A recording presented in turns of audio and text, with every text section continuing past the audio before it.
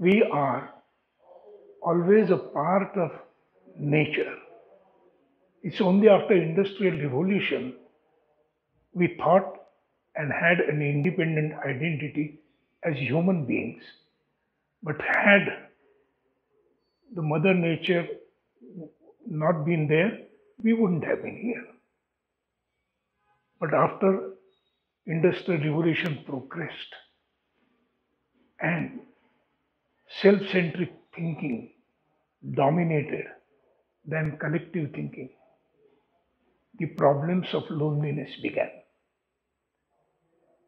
Before we never felt alone because we were one with the nature, though we were apart from nature. And we always learn to listen, learn to see. And our sensory intelligence was as good as our experiential intelligence.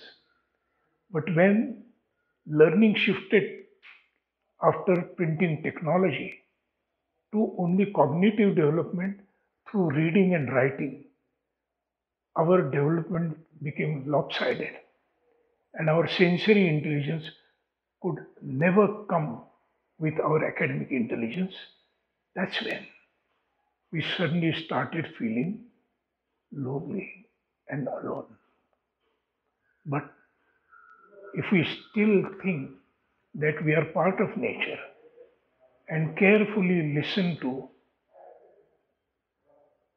sounds of nature, images of nature, and always respect nature as a part of nature, we will never be alone. Thank you.